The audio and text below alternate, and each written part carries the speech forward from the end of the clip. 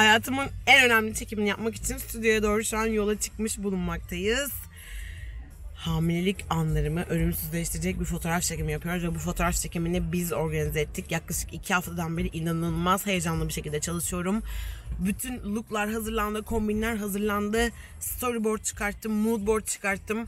Adeta bir ajanscasına çalıştım. Çekimin stylingini yaptım.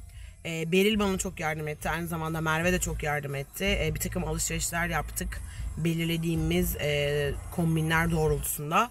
Çok güzel şeyler aldık. Çok güzel bir çekim olacağını hayal ediyorum. E, böyle değişik aksesuarlar aldım. Böyle şapkalar, gözlükler, işte ne bileyim ayakkabılar, elbiseler, şunlar bunlar. Zaten arabanın arkası şu anda inanılmaz derecede dolu. Evet böyle birkaç tane e, prop malzememiz de var. Prop malzeme işte böyle çekimlerde kullanılan aksesuarlara verilen isim. Ama son bir malzememizi son güne bıraktık. Şu anda e, onu arıyoruz. Böyle bir istediğimiz bir ışık efekti var. O ışık efektini yapabilmek için böyle perde gibi, jalüzi gibi bir şeye ihtiyacımız var. Umarım aradığımız son malzemeyi de bulmuşuzdur. Bulduk mu? Bulamadık. Şimdi siz tabii bazı videoların altına yorum yazıyorsunuz. Caner'i lütfen daha çok görelim videolarda işte Caner daha fazla olsun diyorsunuz. Ama bilmediğiniz şöyle bir şey var ki Caner her zaman kamera friendly olan bir insan değil. Bazen gerçekten hiçbir şekilde kamera önüne çıkmak istemiyor. Özellikle sabah erken kalktıysa ve aslında aç olduğu zaman gerçekten çok farklı bir insana dönüşebiliyor. Mı? Ne yapacağız? Nerede bulabilirmişiz peki? Buluruz? Her yerde var burada. Böyle ne dediğini de anlayamıyorsun. Ağzının içinde böyle bir şeyler gevelemeye başlıyor. Koçtaşa falan gitmemiz lazım. O da şu anda vaktimiz yok. Hiçbir şekilde bir şey yemeden evden acele bir şekilde çıkmak zorunda olduğumuz için ve e, o jaluziyi aramak zorunda olduğumuz için inanılmaz derecede huysuzlaştı. Ve böyle arabanın içinde. Dur atamayasın. Atamayasın. Belki sonrasında en sona onu bırakırsak belki sen gelmeden oraya bir uğrayıp gelirsin. Belki. Bir ihtimal. Homur homur homur homur bir şeyler söylenmeye başladı. Ve tabii ki o yemek yedikten sonra normale döneceğini bildiğim için pek fazla sesimi çıkartmadım. Heyecanlı mısın çekim için? Ben mi? Evet. Ben bulunamayacağım ki çekimde. Ama sen sonradan dahil olacaksın çekime. Evet de yani çoğunluğunda da yokum. Evet Caner hiç benim kadar heyecanlı değil aslında bu çekim için. Bunun böyle çok güzel bir anı olacağı Çok e, fikrine çok yükselemedi bence. Aslında bu çekimi yapmayı çok uzun zamandan beri istiyordum. Yani hamileliğimin 5. ayından itibaren aslında bu çekimi yapmayı planlamıştım. Ancak konsepte, stüdyoya, fotoğrafçıya ve diğer şeylere karar veremediğim için aylar geçti, geçti, geçti ve biz bu çekimi aslında yine her şeyde olduğu gibi yine son dakika yaptık ve ben hamileliğimin 8. ayındayken bu fotoğrafları çekildik ve Ben yemek yemeden çıkarttım ya. Vallahi bugün çekim günü anca hazırlandım. Saçımı falan yıkadım. O yüzden çorba vardı. Çorbadan istedim. Çorba yapmıştık. Beslenme çantamız var. Orada sana kadar.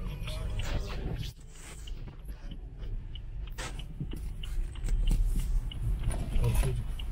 Evet şu anda stüdyoya geldik. Çok fazla eşyamız yok ama yine de aslında var gibi.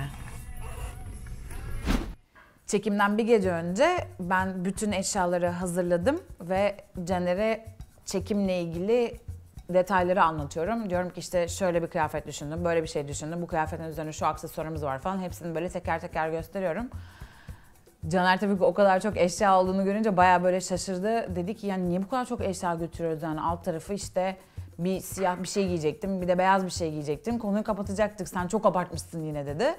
Ben diyorum ki aşkım bak çekimler öyle senin bildiğin gibi olmuyor.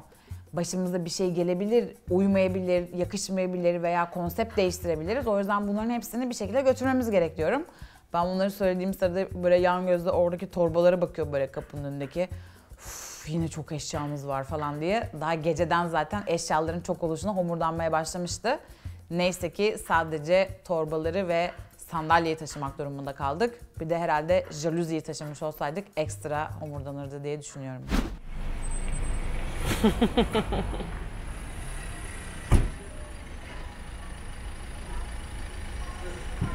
Evet şu anda Stüdyoya doğru devam ediyoruz. Stüdyoya geldik.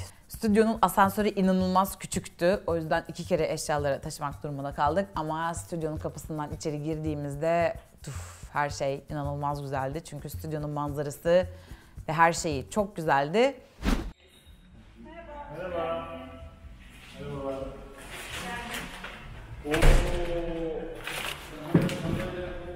Ya sorma baksana. İyi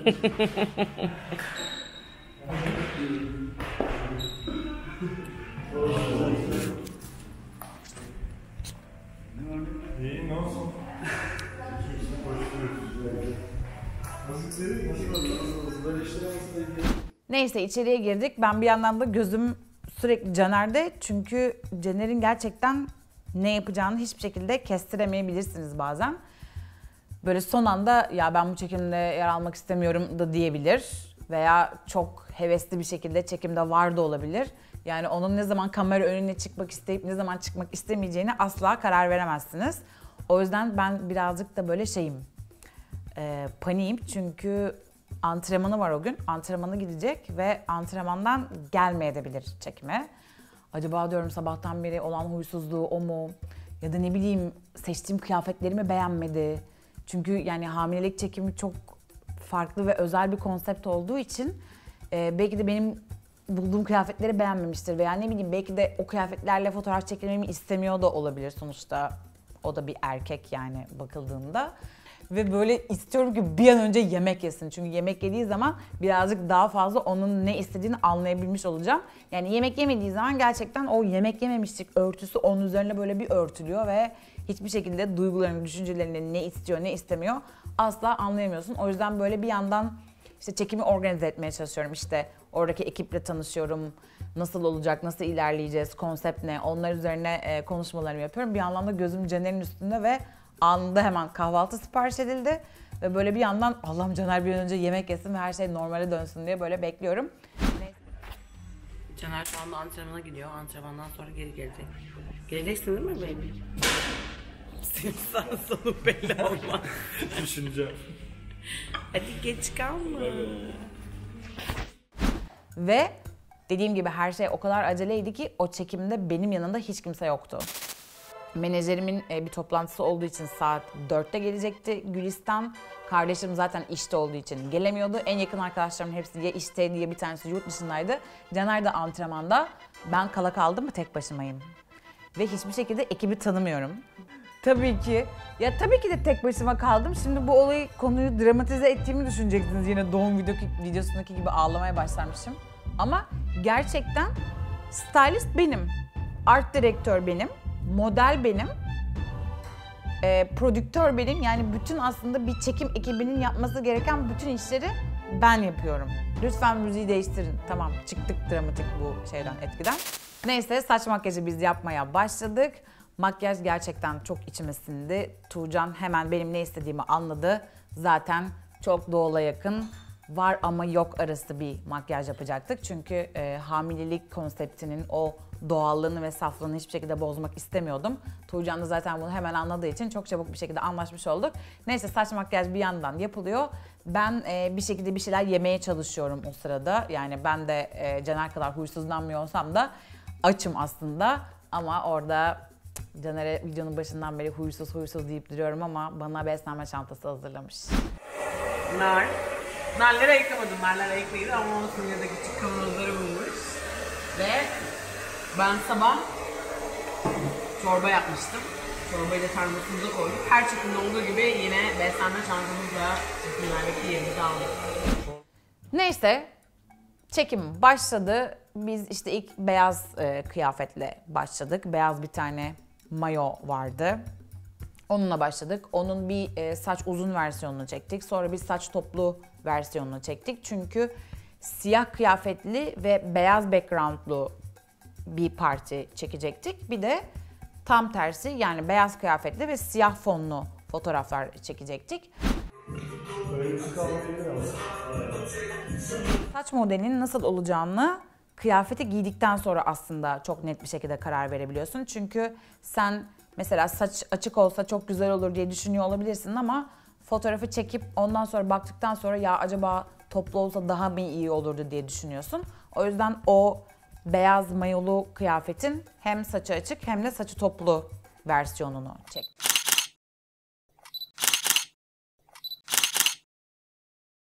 Bunlar genelde böyle çekimlerde hep anlık karar verilen şeylerdir. Fotoğrafçı ve oradaki diğer ekip hep böyle anlık beraber karar verirler. İşte şimdi hangi kıyafeti giyelim, beyazlardan mı devam edelim, siyahlardan mı devam edelim, saç toplu mu olsun, açık mı olsun gibi hep bunlar böyle anlık karar verilen şeylerdir.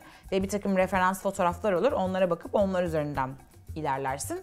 Ee, biz de Fırat'la çok aynı dili konuştuğumuz için bu süreçte de hiçbir zorluk yaşamadık. İşte biz sürekli böyle işte şunu mu giysek, bunu mu giysek, şöyle mi olsa, böyle mi olsa derken Fırat bana dedi ki başka beyaz kıyafetimiz yok mu? Çünkü siyah fonda beyaz kıyafet giymek inanılmaz güzel gözüktü. Ve ben sadece ve sadece bir tane beyaz kıyafet hazırlamıştım. Ya hay Allah dedim ya o kadar çok şey getirdim ve sadece bir tane beyaz kıyafet var. Sonra aklıma şöyle bir fikir geldi. Şu an müziği değiştirebilir miyiz? Çünkü sadece ve sadece bir tane beyaz kıyafetim vardı. O kadar çok siyah kıyafet hazırlamış olmama rağmen kendime inanılmaz derecede kızdım. Dedim ki nasıl, nasıl olur da sadece bir tane... Tamam konuya tekrardan geri. Evden çıkarken yine son dakika dedim ki şimdi çekimde üstümü başımı ne giyeceğim yanımda da kimse yok. Çünkü normalde bir stylistle çalıştığın zaman stylistler mutlaka sana çekim aralarında işte saçın makyajın yapılırken üzerine giymen için böyle bornoz, terlik o tarzda şeyler getirirler. Ama tabii ki bu çekimin stylisti de ben olduğum için dedim ki ya ben şu beyaz bornozu bir atayım çantaya. Çekim aralarında giyerim üzerime hani daha rahat olur diye düşünmüştüm ve bornozu almıştım. Hatta Caner'in bornozunu almıştım. Caner hatta böyle bunu niye aldın ya dedi. Ben dedim ki ya işte çekimde belki lazım olabilir. Ve işte o beyaz bornoz o anda aklıma geldi ve dedim ki evet başka beyaz kıyafetim var. Beyaz bornozum var. Hemen o bornozu giydim. Zaten gazetenin de baş sayfasında yayınlanan olan o bornoz işte Caner'in bornozuydu aslında. O bornozu giyip onu işte böyle birazcık kolunu düşürtüp kollarını sıvayıp falan filan böyle arkasını birazcık sıkıp bambaşka daha havalı bir hale getirdik ve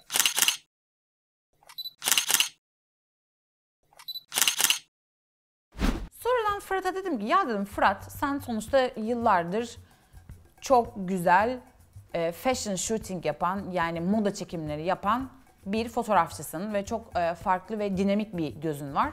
Dedim ki ben bir şeyler hazırladım ama acaba senin bu hamilelik çekimine yorumun ne olur? Yani bir moda çekimiyle yani o fashion dediğimiz e, havalı fotoğraf çekimleriyle acaba hamileliği yani bir kadının vücudunun bayağı böyle büyük bir göbeği oluşunu acaba ne kadar estetik bir şekilde gösterebiliriz? Daha farklı bir şekilde nasıl acaba bu kadınsı formu kullanabiliriz diye sordum. Ve Fırat'tan inanılmaz güzel bir cevap geldi. Dedi ki acaba böyle birazcık daha farklı bir poz mu yakalamaya çalışsak? Nasıl bir poz olabilir dedim. Dedi ki aklımda şöyle bir poz var ama bilmiyorum hani bunu yapabilir misin? Bak bana yapabilir misin diye sordu. Ve ben dedim ki göster.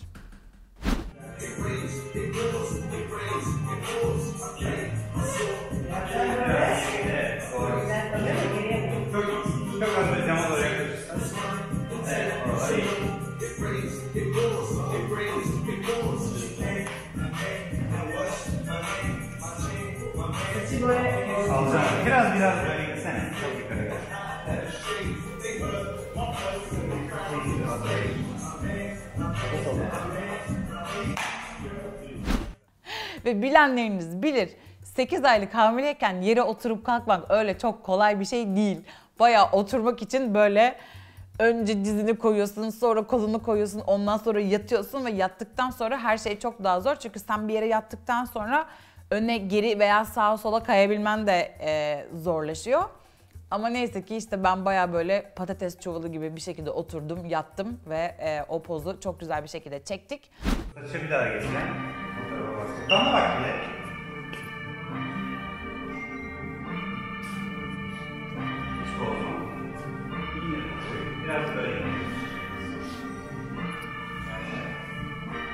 Bana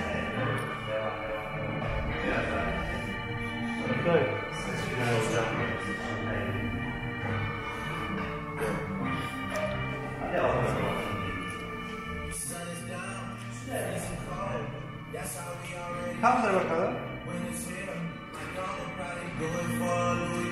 Bir tam yukarı bak havaya. Çeneyi kaldır kaldır kaldır evet.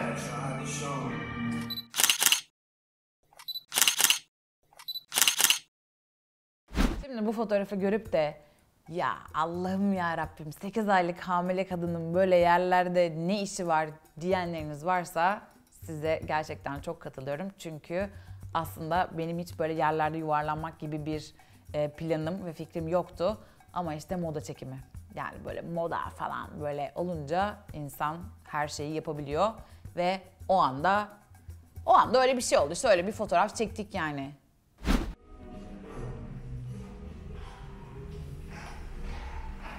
Müge Caner ne zaman gelecek? Bir saate gelir. Beşte gelir değil mi? Müge bir resim çekin. Sonra bir de üzerine başka bir ekleme yapıldı. Fırat dedi ki acaba dedi bu pozu dedi birazcık dedi, dedi bir tane sende dedi askılı bir mayo var dedi. Onunla da mı çeksek dedi. Dedim ki okey çekelim. Şimdi o pozun bir de mayolu bir versiyonu. Daha da iddialı. Yani gördük bir de arttırıyoruz yani üstüne. Sonra dedik ki ama yani hem mayo hem çizme olmaz. Biraz fazla avam kaçabilir. O yüzden dedik ki spor ayakkabısı giyelim. Demin çok enteresan bir açı denemiştik. Şimdi onun spor ayakkabıları versiyonu deniyoruz. Ama benim ayakkabılarım çok aşırı kaba bir spor ayakkabı olmadığı için şimdi ofiste. Herkesin spor ayakkabısına göz diktik. Bunlar böyle ya kimin ayakkabısı kimin ayakkabısı falan diyorlar. Ben dedim ki, ya işte böyle gümüş renkliydi şöyleydi böyleydi falan filan. Aa bir dakika bu Sevil Hanım'ın ayakkabısı galiba dediler. O da sanırım e, stüdyodaki önemli pozisyonda olan kişilerden bir tanesinin ayakkabısıymış. Neyse bana o ayakkabıyı da getirdiler. ben o ayakkabıyı da aldım giydim ve tam o pozu çekerken biz...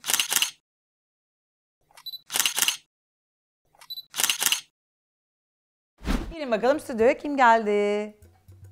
Ve ben yine bu sefer mayolu olarak e, oradaki kağıtların üstüne 2.80 yatmış bir şekilde şöyle yatar ve pozisyonda dururken bir anda benim kadrajıma dıkş Caner geldi. ve ben böyleyim. Allah'ım ya Rabbim sabahtan beri yoktu. Ve yani hani olayların nasıl, gidişatın nasıl olduğunu da bilmediği için Allah'ım diyorum yani tam da geleceği pozu buldu yani burada böyle yerlerde sürünüyorum falan. Böyle ufaktan bir şey oldum. Ee, panik oldum yani acaba ne diyecek diye. Çünkü orada bayağı dese ki senin böyle yerlerde ne işin var burada sürülüyorum dese. Yani sürünüyorsun. niye böyle yerlerde sürünüyorsun? Sen benim çocuğumu niye böyle telef ediyorsun buralarda dese verebilecek hiçbir cevabım yok. Ama neyse Allah'tan e, coolluğunu ve beyefendiliği hiçbir şekilde bozmayarak hiç e, bozuntuya vermedi. Ve sonra zaten hemen monitörün başına gidip fotoğrafları da görünce o da çok beğendi. O yüzden e, çekimin ondan sonraki dakikaları çok daha enerjik ve neşeli bir şekilde geçmeye başladı. Ve bir tane çok istediğimiz masanın olduğu bir kare vardı. İşte o masa geldi, e, deneme çekimleri yapıldı, işte şöyle mi olur, böyle mi olur falan derken ve biz sanırım deklanşöre 3 kere basıldı ve biz istediğimiz kareyi elde etmiş olduk.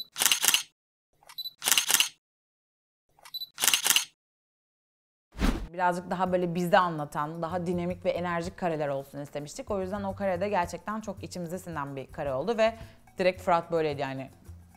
Çok güzel, bitti. Öbür kombine geçebiliriz.